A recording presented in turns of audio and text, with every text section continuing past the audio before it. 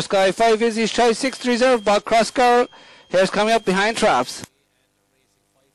And they're off and running for the opener, and it's 2, 4, and 5. We're blue this early running with trap 2 on the inside now, going around on front from 4 and second, 1 and third, and 6 and 4th.